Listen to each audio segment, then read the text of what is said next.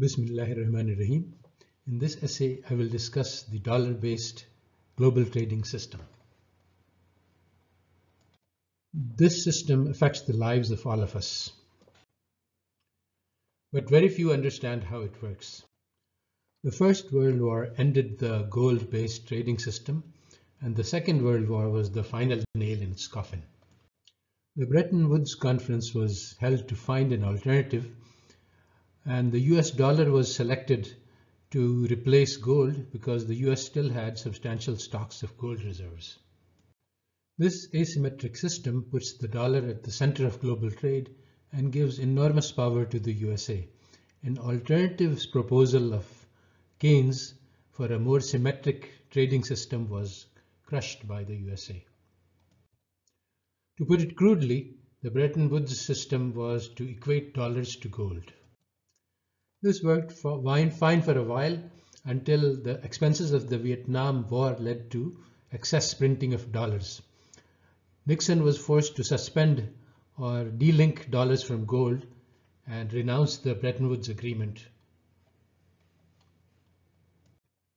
With the dollar delinked from gold, a system of floating currencies naturally came into existence.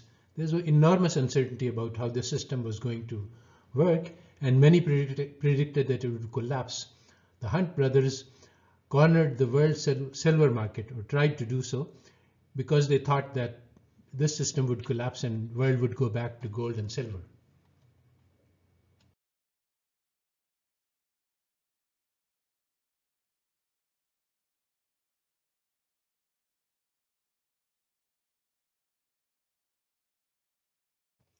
The US was aware of the precarious position of the dollar unbacked by gold and negotiated a deal with Saudi Arabia to ensure that all oil trading would be done in dollars.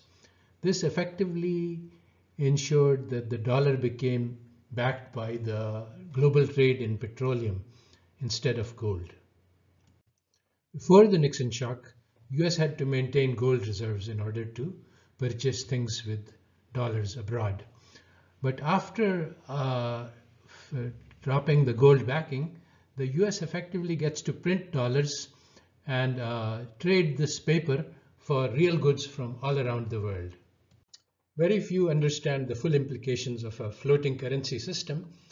Uh, modern monetary theory has been invented to describe the workings of the system, but in the economics textbooks, they only teach conventional monetary theory, which is based on the assumption that money is gold.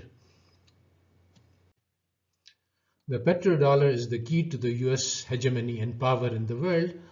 Uh, US gets to spend as much money as it likes because it only needs to print money, while the other countries must have uh, dollar backing for their currencies, at least until recently.